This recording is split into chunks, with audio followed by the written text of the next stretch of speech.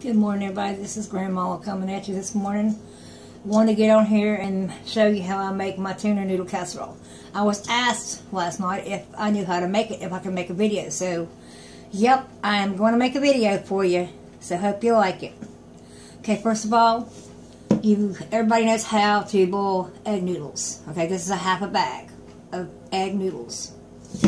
Then to this, I'm going to add one can of cream of mushroom soup.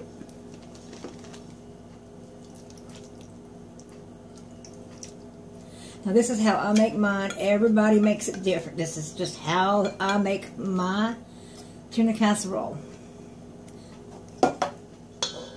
Then I'm going to put in one can of cream of celery.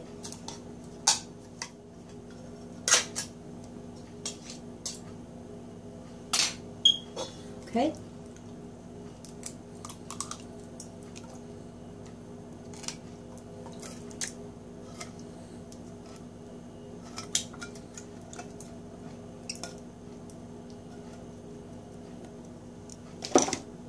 Then I'm going to add in a little bit of black pepper to your tasting. Some pink Himalayan salt.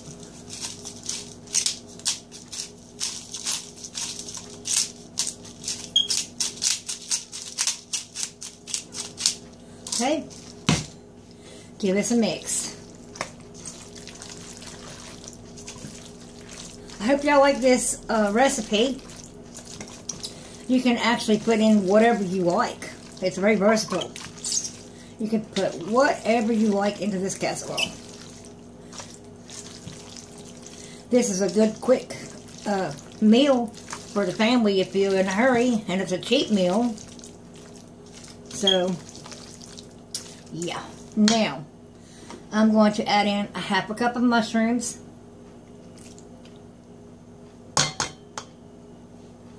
And black olives, about a half a cup. Okay. And then my tuna, which I'm using Chunk Light Tuna and Water. It's the Bumblebee brand.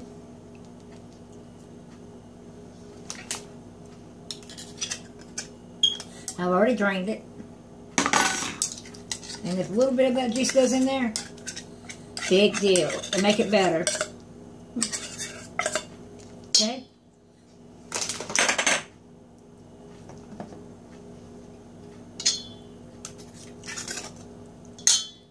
The second can.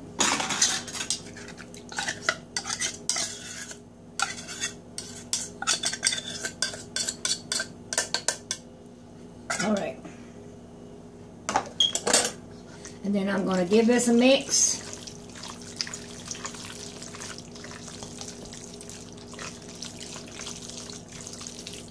Get all that tuna mixed into that. Then I'm going to add in about a half a cup of frozen peas. It calls for carrots, but I don't want carrots in my tuna casserole. Ooh, my peas are still frozen. But that's okay, they'll cook in the oven. Okay. And if this is uh, too dry, you can always add a little milk into it. Which, you know, I don't like it dry. I don't like it water, you know, juicy. So let me add just a little bit of milk.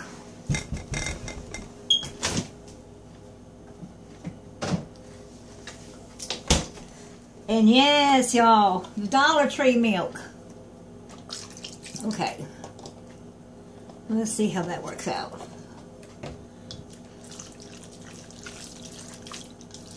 I think that got it. See if I can get that peas broken up a little bit. Let's see here. Just a little bit more. Okay. That should have it. Alrighty. Mix that up. See? Look at all that goodness. Okay. The next thing we're going to put in is some sharp cheddar cheese.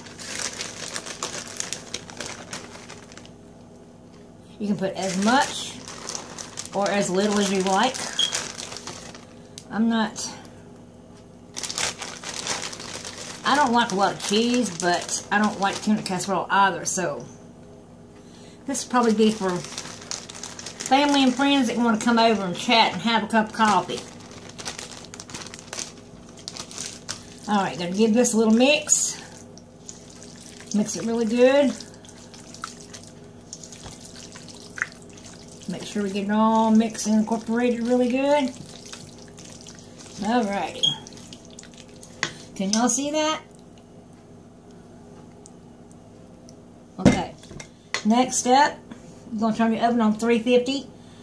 And you're going to cook this for about 30 to 35 minutes, y'all. I think I'm going to go ahead and put a little more cheese in that, y'all. Yes. Can't have enough cheese for people. Come on. Get out of there. What I do with my cheese, when I buy I buy the great big old packs of, uh, blocks of cheese. And then I bring it home and shred it. And I'll get like four one pound bags of cheese out of it.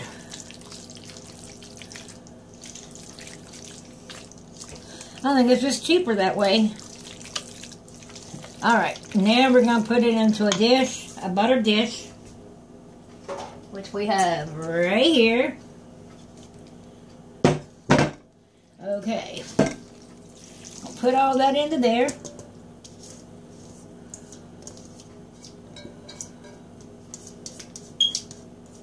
Get it all out. Don't want to waste anything, y'all. Okay. Now, you're just going to smooth it out. Just like so.